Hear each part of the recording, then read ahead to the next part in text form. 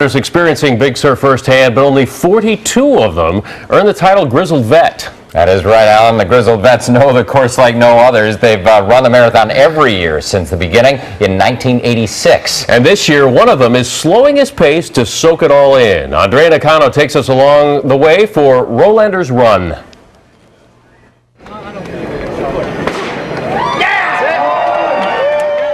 Tom Rolander runs in about four marathons a year, but the Big Sur International Marathon has a special place in his heart and heels. He has run every single year, which puts Rolander in the elite class of the grizzled vets.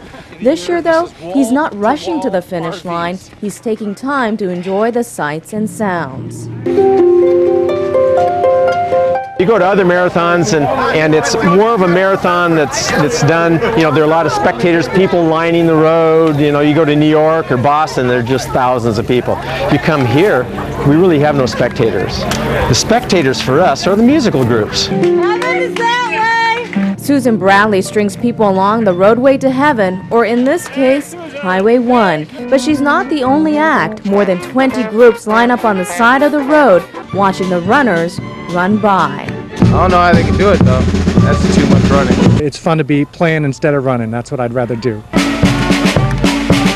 Each segment of the race is marked by the sounds of a different drum. So how many years you been doing this?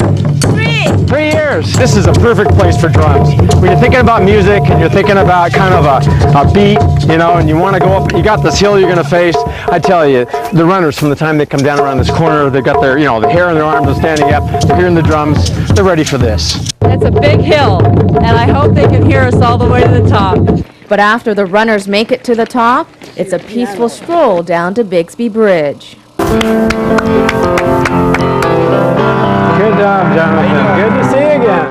Again. Hurricane Point, you come down around the corner there. The, the, your, your piano is just projecting. It's open. It comes right up here. It just echoes off the wall as it goes up there.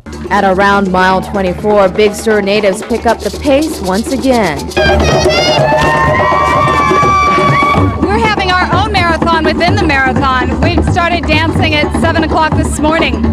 So we're not going to stop dancing till they stop running.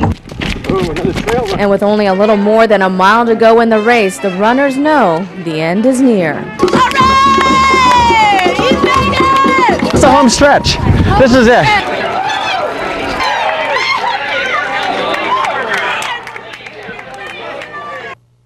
Way to go, Tom. We're going to keep things running along right after a quick break. That's right. Up next on the Big Sur International Marathon Special, the runners hit the wall. And